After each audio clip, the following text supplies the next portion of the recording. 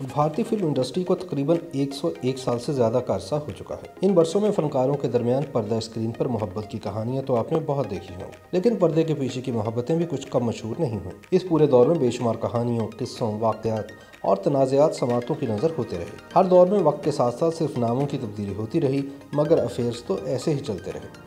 ऐसे में वो लोग खुश नसीब रहे, जिन्होंने अपनी मोहब्बत को मुस्तकिल कर लिया और रिश्ते अजदवाज में मुंसलिक हो गए। और बहुत से तो इस दश्त की स्याही में, जुदाई के दायमी गम में ही गर्क हो गए। ये मोहब्बतें कितनी कामयाब हुईं और कितने फ़नकार इस सफ़र में एक दूसरे से जुदा हुए, आइए मोहब्बत की इन अधूरी दास्तानों पर नज़र डालते हैं। किंग ऑफ़ ट्रेजिडी का खिताब पाने वाले हिंदी सिनेमा के लीजेंड अदाकार यूसुफ खान, जिन्हें दुनिया दिलीप कुमार के नाम से जानती है, इनके बारे में कहा जाता है कि इनके पाए का एक्टर आज तक बॉलीवुड में पैदा नहीं हो सका। वो बॉलीवुड में एक इदारे की हैसियत रखते हैं। अपने अरूज के दौर में इन्होंने कमोबेश हर टॉप क्लास अदाकारा के साथ काम किया और हर हीरोइन के साथ, चाहे वो कामनी कुशल हो या वहीदा रहमान, इन्हें बेहद पसंद किया गया। लेकिन मधुबाला के साथ इनकी जज्बाती वाबस्तगी थी। इसीलिए इन्हें ऑल टाइम फेवरेट जोड़ी करार दिया जाता है। मधुबाला दिलीप कुमार के साथ अपने ताल्लुकात के हवाले से बेहद संजीदा थी। और इन्होंने कभी इनको छुपाने की कोशिश भी नहीं की। एक बार फ़िल्म इंसानियत के प्रीमियर के मौके पर ये दोनों हाथों में हाथ डाले शामिल हुए। दिलीप कुमार और मधुबाला की कहानी एक खुली हकीकत थी, जिसे इन्होंने किसी से भी खुफिया रखने की कभी कोशिश नहीं की। लेकिन बदकिस्मती से इन दोनों लीजेंड्स की आपस में शादी न हो सकी और मोहब्बत की ये कहानी हमेशा के लिए अधूरी रह गई। सन 2014 में बिलाखिर दिलीप कुमार ने मधुबाला के साथ अपने ताल्लुकात के बारे में खामोशी को तोड़ डाला और इन्होंने अपनी autobiography Dilip Kumar the substance and the shadow में इसका बरमला ज़िक्र किया। दिलीप कुमार ने इसमें लिखा कि मैं इस बात को मानता हूँ कि मैं मधुबाला की जानब कशिश महसूस करता था। हम दोनों ही बहुत अच्छे अदाकार थे, लेकिन वह हैसियत इंसान मधुबाला उस दौर की एक मुकम्मल खातून थी, जिनकी रफाकत का मैं खाहा था। दिलीप कुमार ने मजीद लिखा कि मधुबाला के वालिद नहीं चाहते थे कि हमारी शादी हो पाए, क्योंकि मधुबाला के वालिद अताउल्ला अपना प्रोडक्शन हाउस बनाना चाहते थे और उनकी ख्वाहिश थी कि हम दोनों अपने करियर के अख्ताम तक इनके प्रोडक्शन में बनाई जाने वाली फ़िल्मों के लिए हाथ में हाथ डाले डुएट गाते रहे। हालाँकि मैंने मधु और इनके वालिद को बता दिया था कि मेरा काम करने का अपना अंदाज है, मैं पाबंद होकर काम नहीं कर सकता। दिलीप कुमार ने लिखा कि मेरी मधुबाला के वालिद अताउल्ला से कई मुलाकातें हुई, लेकिन मुझे अफसोस है कि वो तमाम मुलाकातें नाखुशगवार रहीं। कता नज़र इसके कि इनकी जोड़ी अबर ना हो सकी, लेकिन आज भी मोहब्बत की कहानियों में दिलीप कुमार और मधुबाला का नाम ज़रूर लिया जाता है। सुरीली आवाज़ की मालिक सुरैया की देवानंद से पहली मुलाकात उस वक्त हुई, जब वह बहुत कम उम्र थी, यानी अपनी उम्र के टीन एज में, जबकि देवानंद इंडस्ट्री में नए नए कदम जमाने में मसरूफ थे। उम्र और करियर के वाज फ़र्क के बावजूद इन दोनों के दरमियान मोहब्बत ने जन्म लिया और इंडस्ट्री में एक और कहानी बनने लगी। दोनों ने साथ जीने और मरने की कस्में खाई। लेकिन दोनों घरानों में वाज फ़र्क होने की वजह से दोनों के ख़ानदान वाले इस रिश्ते के लिए राज़ी न थे। खास तौर से सुरैया की नानी नहीं चाहती थी कि सुरैया जैसी सोने की चिड़िया किसी और की डाल पर जा बैठे। इसलिए देव आनंद ने इन्हें डरपोक लड़की कहा। लेकिन इन्होंने इस बात का भी इकरार किया कि दुनिया में सबसे ज़्यादा प्यार इन्होंने सुरैया से ही किया। इसी तरह सन उन्नीस सौ बहत्तर में एक फिल्मी मैगजीन को इंटरव्यू देते हुए सुरैया ने अपने और देवानंद के दरमियान मोहब्बत के बारे में कई खुले इशारे दिए। उन्होंने कहा कि देव ने इन्हें एक बार कहा था कि मज़हब प्यार का दूसरा नाम है। इसे ख़ानदान या समाज के बंधनों में नहीं बांधना चाहिए। बॉलीवुड फ़िल्म इंडस्ट्री के शोमैन राज कपूर अक्सर अपने साथ काम करने वाली हीरोइंस का ज़िक्र किया करते थे, लेकिन नरगिस का ज़िक्र वो बड़े ख़ास अंदाज से करते, वह नरगिस के इश्क में पागल की तरह गिरफ़्तार थे। आग इन दोनों की पहली वो फ़िल्म थी, जिसमें दोनों के ताल्लुकात का आगाज़ हुआ, और फ़िल्म बरसात तक ये ताल्लुक अपने अरूज पर पहुँच गया। इनकी ऑफ़ स्क्रीन लव स्टोरी की झलक इनकी ऑन स्क्रीन केमिस्ट्री में भी नज़र आती थी। इन दोनों ने कई क्लासिक और हिट फ़िल्में दी, लेकिन इस लव स्टोरी का अंजाम भी अफसोसनाक हुआ। जब नरगिस राज से मिली, तब वह पहले से ही शादीशुदा थी। नरगिस चाहती थी कि राज अपनी बीवी कृष्णा को तलाक देकर इनसे शादी करें, और राज कपूर ने इनसे वादा भी कर लिया।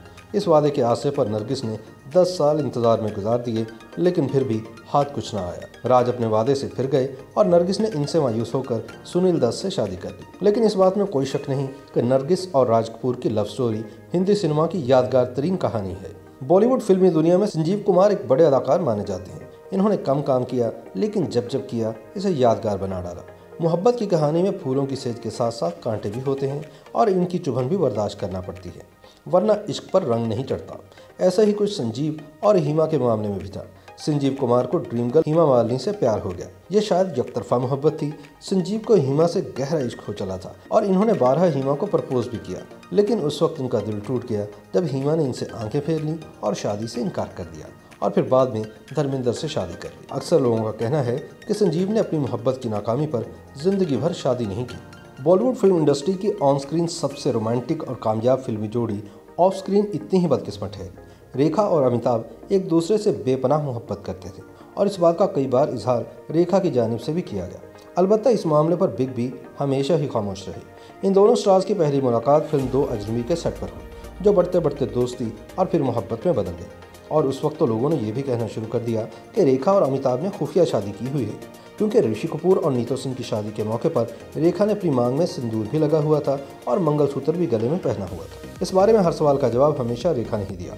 लेकिन रेखा से बेपनाह मोहब्बत होने के बावजूद बिग बी ने कभी इस ताल्लुक पर बात करने के लिए ज़ुबान नहीं खोली, जबकि रेखा ने बोल्ड होकर हर जगह अपनी मोहब्बत का इकरार किया। सन उन्नीस सौ चौरासी में फिल्मी मैगजीन को इंटरव्यू देते हुए रेखा ने वाजे कहा कि अगर अमिताभ ने इस बात का इकरार नहीं किया तो बिल्कुल सही किया। क्योंकि वो अपने करियर, घर, बच्चे और ख़ानदान को दाव पर नहीं लगा सकते। मेरे लिए इतना ही काफ़ी है कि मैं उनसे और वह मुझसे प्यार करते हैं। रेखा अमिताभ से शादी करना चाहती थी, लेकिन इनकी ज़िंदगी में दूसरी औरत नहीं कहलवाना चाहती थी। इसलिए फ़िल्म सिलसिला के बाद रेखा और अमिताभ ने इस ताल्लुक पर हमेशा के लिए खामोशी इख्तियार कर ली। बॉलीवुड का डिस्को डांसर मिथुन चक्रवर्ती और लाखों दिलों की धड़कन और चांदनी, सीरी देवी दोनों ही एक दूसरे के इश्क में अंधे हुए।